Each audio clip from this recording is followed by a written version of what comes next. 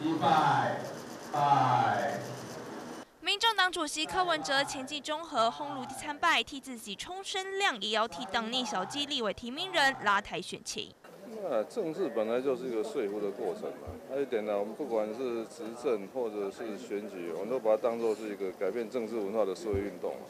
走一趟烘炉地替参选中和的邱成远拼选情，但柯文哲自己的选情也亮红灯，尤其绿营猛打过去丑女争议言论，馆长公审举牌女性，柯文哲再度划清界限。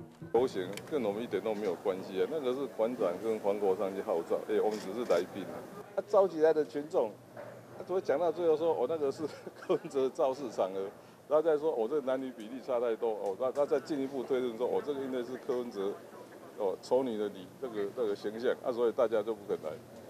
我现在想说，天哪，这这实在是太会造谣了。我当地安排，你不能说警察在山下给我们民众这样挡住，不让我上来。参拜行程让当地民众不满，沾惹政治味，这似乎也让民众党很伤脑筋，因为柯文哲还得面对选票问题。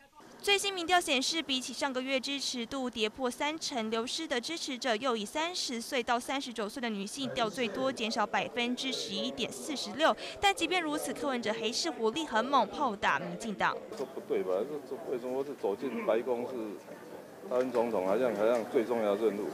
台湾是要面向全世界，台湾是要得到能够团结内部的，然后可以迎迎向外外界。